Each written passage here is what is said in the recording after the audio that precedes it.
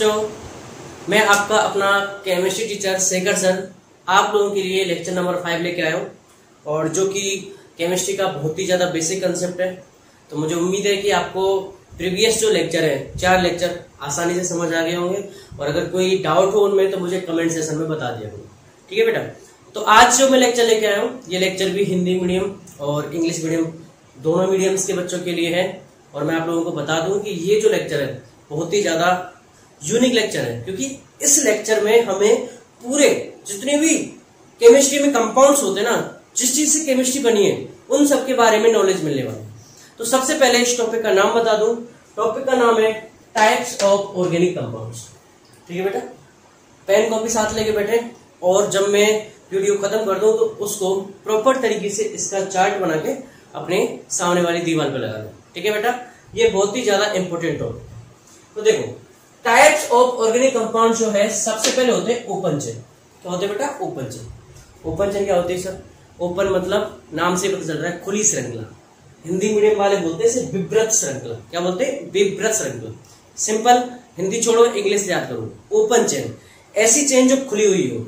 खुली हुई का मतलब समझ लो ऐसी चेन जो खुली हुई मतलब अगर आपके कार्बन इस तरह है, और ये वाला कार्बन इससे कनेक्ट नहीं है कॉर्नर वाले कार्बन एटम कनेक्ट नहीं है तो उसे क्या बोलेंगे बेटा हम? ओपन क्या बोलेंगे? ओपन चेन इसका जो सेकंड टाइप है, उसे बोलते हैं क्लोज चेन क्या बोलते हैं? बेटा क्लोज चेन चेन में आपको पता है कि अगर कार्बन एटम आपस में एक दूसरे से कनेक्ट है, आपस में एक दूसरे से कनेक्ट होके एक साइकिलिक स्ट्रक्चर बना रहे हो क्लोज मतलब बंद एकदम, ठीक है? अगर कार्बन एटम एक दूसरे से अटैच हो होके एक पूरी बंदी है एक बिल्कुल चक्रीय संरचना बना रहे हो तो उन्हें बोलते हैं बेटा क्लोज चेन। क्या बोलते हैं बेटा?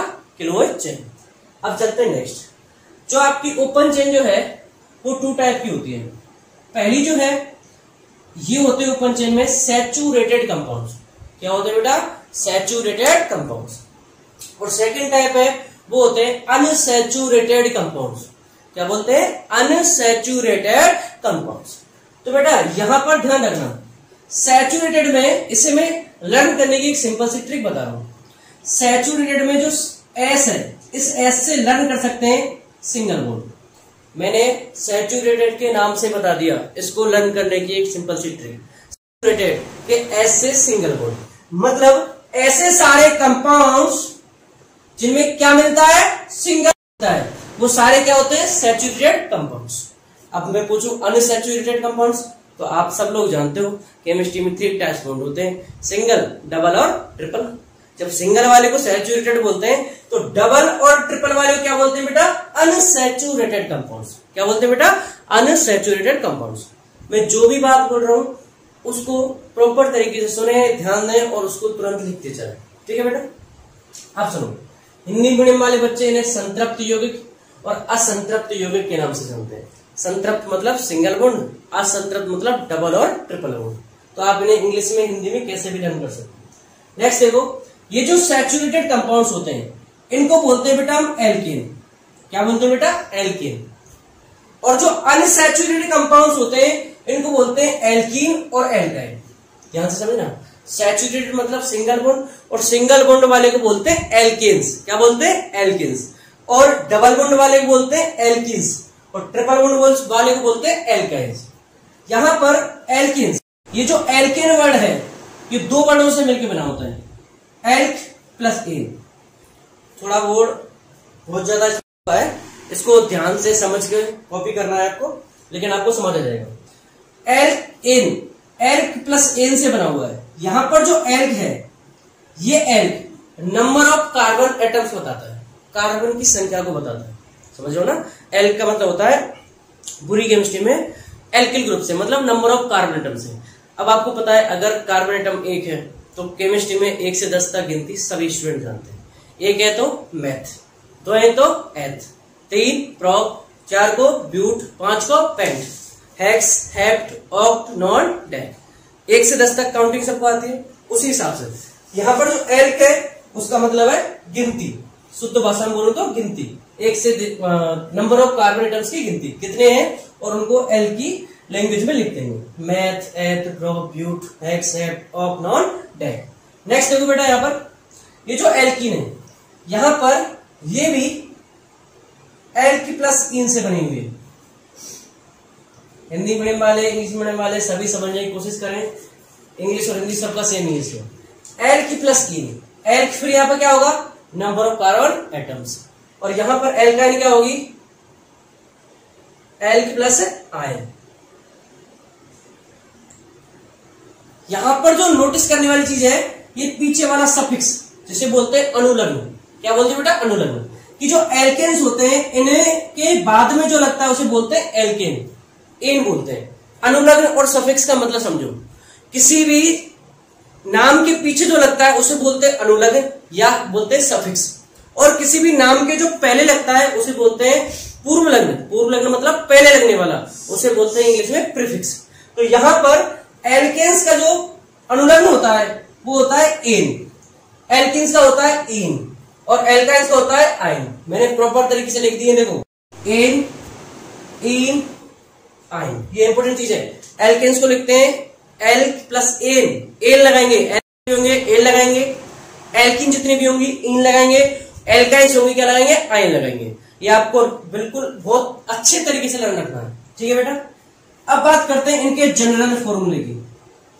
जनरल फॉर्मूला होता है इनका C N H two N plus two क्या होता है? C N H two N plus two अगर इस फॉर्मूले में से मैं माइनस दो कर दू, इसको लर्न करके मैं दोनों को याद कर रहा हूँ, ध्यान से ध्यान से। बहुत ध्यान से याद करना कि अगर इस फॉर्मूले में से एल्केन के फॉर्मूले में से माइनस दो कर दू तो यहाँ पर मिलेगा देखो, ये दो सौ माइनस दो कैंसिल हो जाएगा C N H two N अगर इसमें से भी मैं माइनस दो कर दू तो मुझे मिल जाएगा C N H two N minus two समझ गए ना? मैंने एक ही एल्केन के फॉर्मूले से दोनों फॉर्मूले बना दिए। एल्केन के फॉर्मूले में से माइनस दो कर रहा है एल्किन बन जाएगी। एल्किन में से माइनस दो करेंगे तो एल्काइन बन जाएगी। ठीक है बेटा? नेक्स्ट देखते हैं।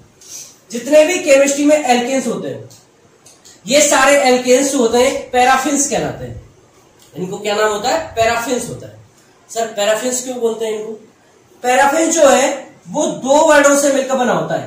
Param plus affin paraffins Hindi medium Hindi में भी यही बोलते हैं, इंग्लिश में भी बोलते हैं। पैराफिन्स पैराफिन्स दो वर्डों से मिलकर बना होता है।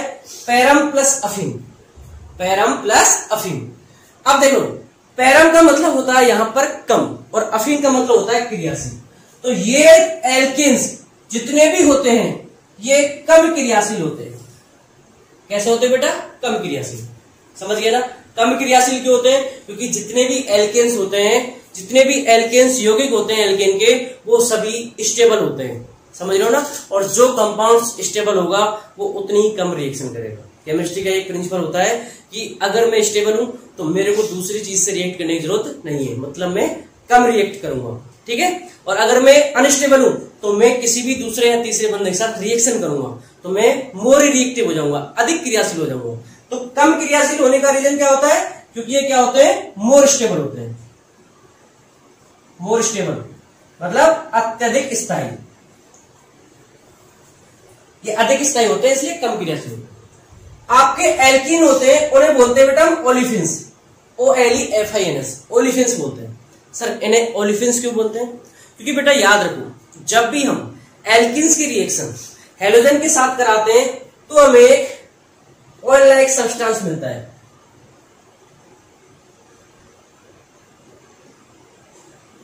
ऑयल लाइक सब्सटेंस समझ तेलीय पदार्थ मिलता है। और इसी तेलीय पदार्थ इस ऑयल के नाम पर ही इन्हें बोलते हैं ऑयलिफिन्स क्या बोलते हैं बेटा? ऑयलिफिन्स एल्किन की रिएक्शन जब भी हेलोजनों के साथ कराते हैं, आगे पढ़ाऊँगा मैं तो हमें क्या मिलता है? ऑयल ऑयल लाइक सब्सटेंस मिलता है, जिसकी वजह से हम इन्हें बोलते हैं ऑलिफिन्स और जो एल्काइन होती है, उन्हें बोलते हैं एसिटेलिन्स क्या बोलते हैं? एसिटेलिन अब बेटा एसिटिलिन्स का मतलब क्या होता है? वो बताने वाला ध्यान से देखो। ये वाला आपका जनरल हो गया। ओपन चेन मैं एक बार रिवाइज करा दू।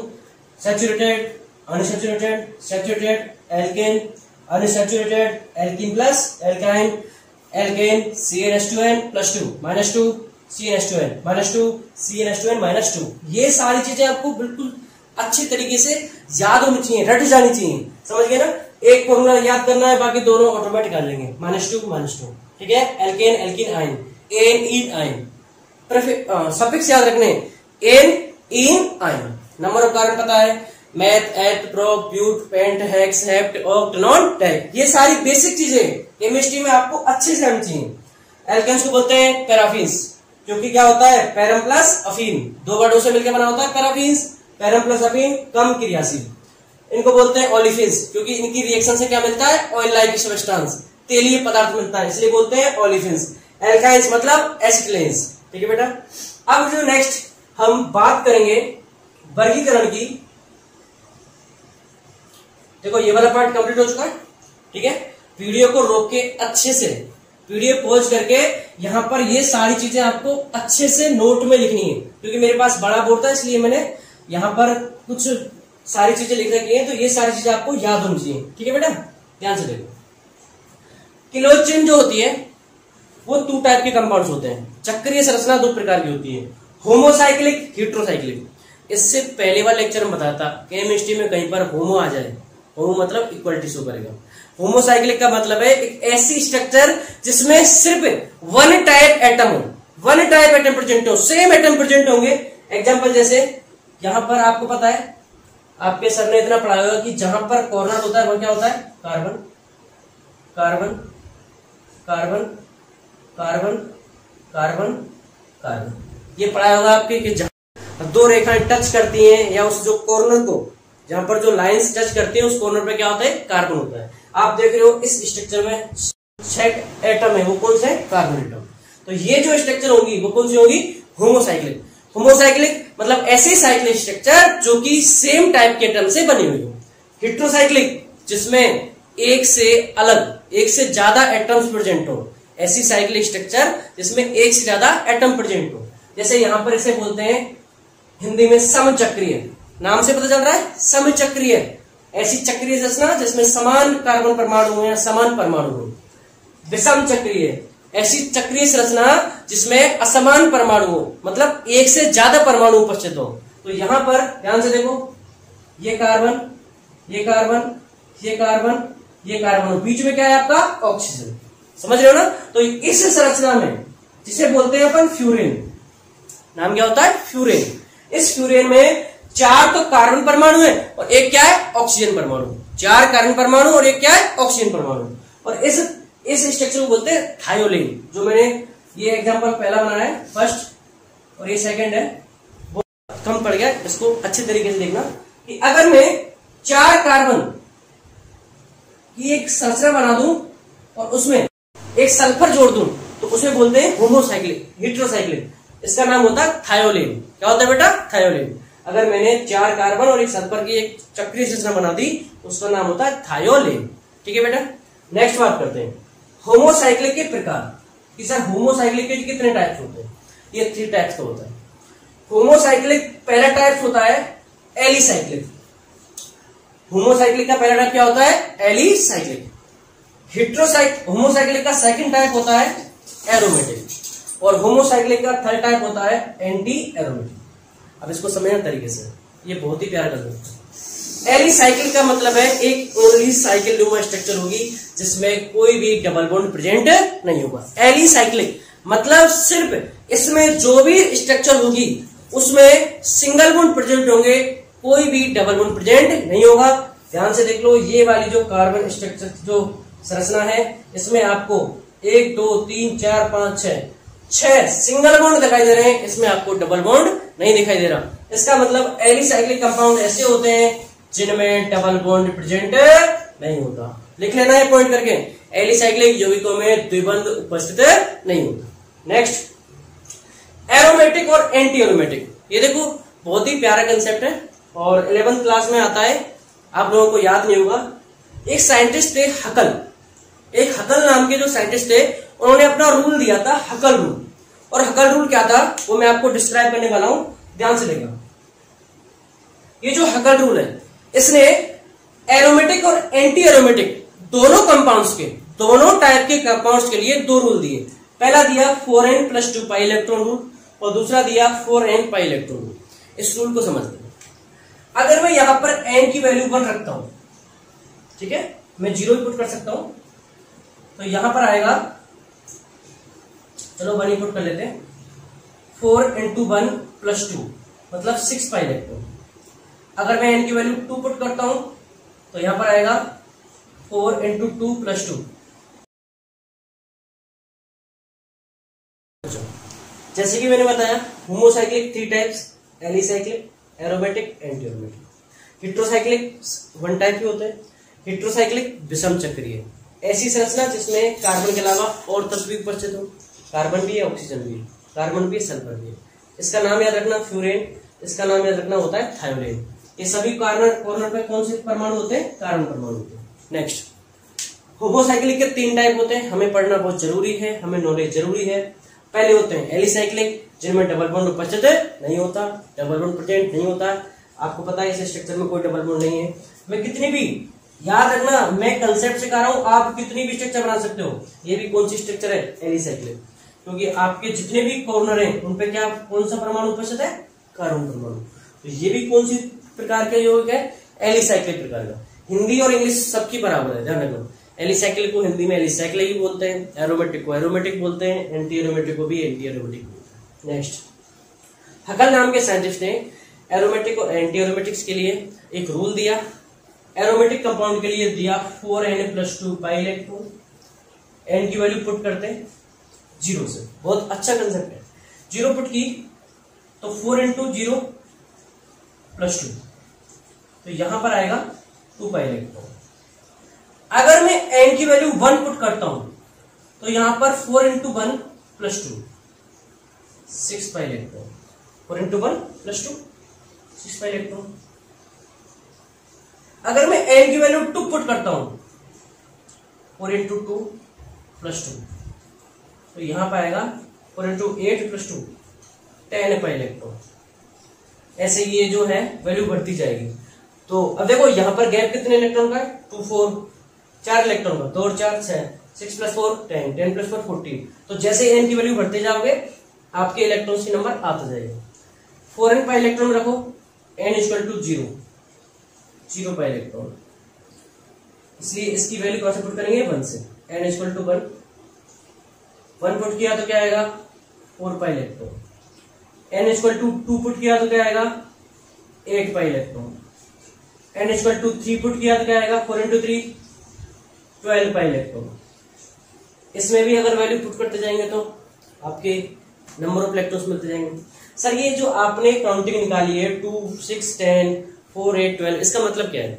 बेटा, इसका मतलब है हकल नाम के साइंटिस्ट ने एक चीज़ बोली थी कि अगर किसी कंपाउंड्स में ये पाई इलेक्ट्रॉन उपस्थित हो, प्रेजेंट हो, उसे तो बोलेंगे एरोमेटिक अगर किसी में दो हैं, छह हैं, दस हैं तो वो कंपाउंड्स एरोमेटिक और जिसमें चार हैं, आठ हैं, बारह हैं, वो कौन सा? एंटी एरोमेटिक एग्ज़ाम्पल दे रहा हूँ सर यहाँ पर एग्ज़ाम्पल एक ही बार समझ लो।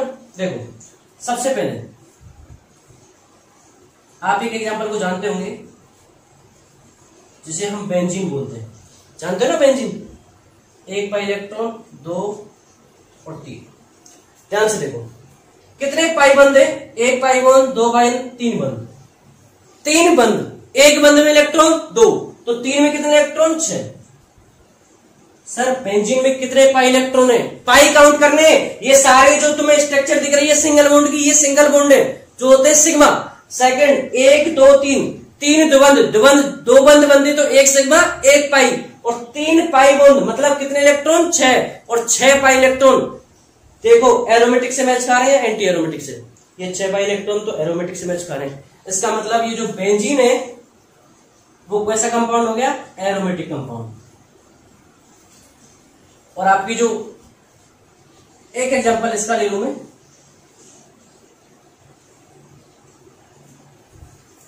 कितने पाइबंद है? एक, दो। दो पाइबंद में कितने इलेक्ट्रॉन होते हैं? चार। चार पाई इलेक्ट्रॉन। एरोमेटिक वाले रूल से मैच कर रहे हैं एंटी एरोमेटिक वाले से? एंटी एरोमेटिक वाले से। तो ये कंपाउंड कौन सा होगा? Anti aromatic. अब एक चीज़ इंपोर्टेंट जो याद रखने की है, वो ये कि एरोमेटिक और एंटी एरोमेटिक को डिफाइन करने के लिए और भी शर्तें होती हैं, जो कि मैंने बताई नहीं है। इसका एक अलग से लेक्चर बनाएँगे। लेकिन जनरली मैंने जो रूल बता दिया है मोस्टली जो देखते हैं, एक छोटा सा आइडिया दे दिया है कि ऐसे इलेक्ट्रॉन्स के बेस पे हम देख लेते हैं। शर्त होने को तो एक कॉन्जुगेशन होती है कि इनके में अनुनाद होना चाहिए प्रॉपर तरीके से स्ट्रक्चर प्लेनर होनी चाहिए। काफ़ी शर्तें होती है, वो हम अलग से पढ़ेंगे लेकिन फ़िलहाल के लिए इतना ही। ठीक है बेटा? तो ये आपका जो है, मैंने टाइप्स ऑफ़ कंपाउंड पढ़ा दिया है। एक बार रिवाइज करा दू। अच्छे से वीडियो रोक के पूरा चार्ट बना लेना अपनी कॉपी में सुंदर तरीके से अच्छे अच्छे तरीके से लिख लेना, ठीक है? ओपन चेन क्लोज चेन पता है open two type saturated unsaturated संतृप्त, असंतृप्त. Saturated single unsaturated double triple alkane alkene alkyne ane ene yne paraffins olefins acetylenes general formula एक का याद रखना है. C n s two n plus two minus two C n s two n minus two C n s two n minus two ये मिल गया। अब यहाँ पर पैराफिन्स क्यों होते हैं? क्योंकि पैरम प्लस अफिन से बनता है, ठीक है? कम क्रियाशील होता है, क्योंकि मोर स्टेबल अधिक स्थायी होते हैं। इसमें रिएक्शन पे क्या मिलता है? तेलीय पदार्थ ओलिफेंस और यहाँ पर एस्टिलेंस को मैं अभी बताने वाला हूँ। तो देखो, अभी जो है, मैं एक छोटा सा पॉइंटर बता रहा हूँ आप लोगों को कि अगर मैंने इस जनरल फॉर्मूले में एन एचकल टू वन रखा तो यहाँ पर जो है सी वन वन रखेंगे तो एच फोर इसको बोलते हैं सी एच फोर और एक कार्बन को क्या बोलते हैं बेटा? मैथ पीछे क्या लगेगा? एन तो जो हमें कंपाउंड मिला, उसका नाम क्या होता है? मीथेन हिंदी में बोलते हैं मैथेन हिंदी में बोलते हैं मैथेन इंग्लिश में बोलते हैं मीथेन ठीक है? अभी जो मीथेन है ना, ये ऐसी गैस होती है, जितने भी नेचुरल रिसोर्सेज होते हैं, जितने भी प्राकृतिक स्रोत होते हैं, सबसे ज़्यादा जो गैस मिलती है, वो कौन सी मिलती है आपकी? मेथेन गैस मिलती है। एन इक्वल टू टू रखा। क्या आ गया? C two two into two four plus two s six तो यहाँ पर दो कार्बन है एथ लास्ट में एन तो क्या हो जाएगा? एथेन ठीक है? हिंदी? इसको बोलते हैं एथेन, उसको बोलते हैं मैथेन ठीक है बेटा? तो एक कार्बन को मैथेन बोलते हैं उसको बोलते हैं इथेन ठीक है? अब देखो यहाँ पर, हिंदी मीडियम वाले ध्यान से देख लेना। इंग्लिश में बोलते हैं मीथेन इथेन मेथेन एथेन ध्यान से। अगर मैंने यहाँ पर एन की वैल्यू वन रखी तो वन करने पर आएगा सी एच टू और यहाँ पर आएगा double bond double bond C H two n की वैल्यू पुट करने पर दो फुट की C two two into two four H four यहाँ पर आएगा एथ दो कार्बन है प्लस इन इसका नाम हो गया इथीन क्या हो गया बेटा? इथीन ऐसे तीन पर क्या आ जाएगा? प्रोपीन आगे आपको ये होमवर्क दे रहा हूँ मैं कि आप लोगों को ये एक से दस तक फॉर्मूले में काउंटिंग करके रखना है। Methane ethane propane butane pentane सब बना के देखने। इसमें भी आपको एथीन प्रोपीन ब्यूटीन पेंटीन सब आपको बना के देखना है। और यहाँ पर अगर मैं एन की वैल्यू टू पुट करूँ यहाँ पर आएगा सी to H two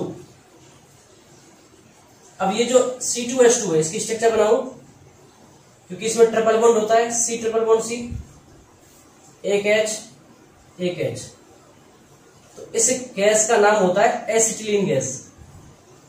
Acetylene gas.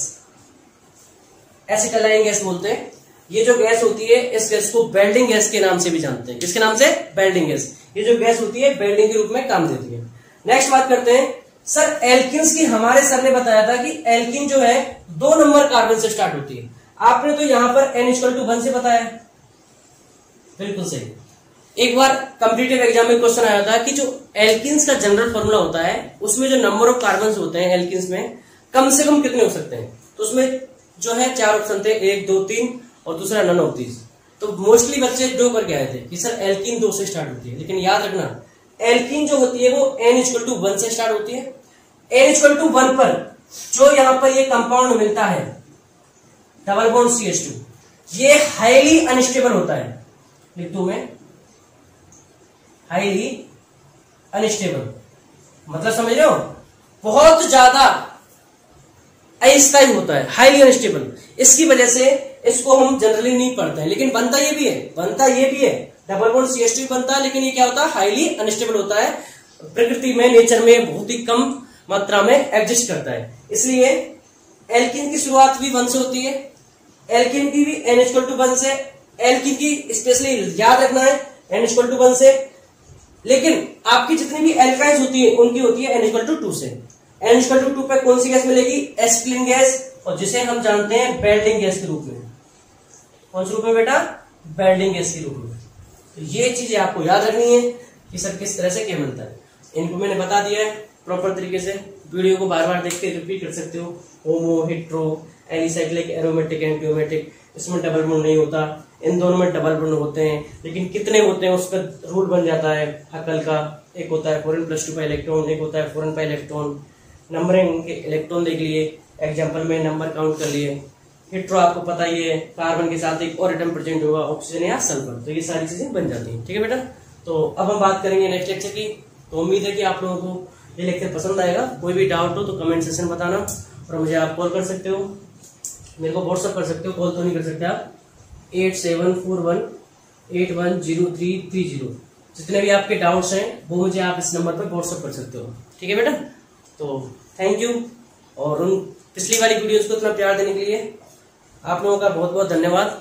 और मैं आपके लिए आगे ऐसे ही वीडियो चलाता रहूँगा। Thank you guys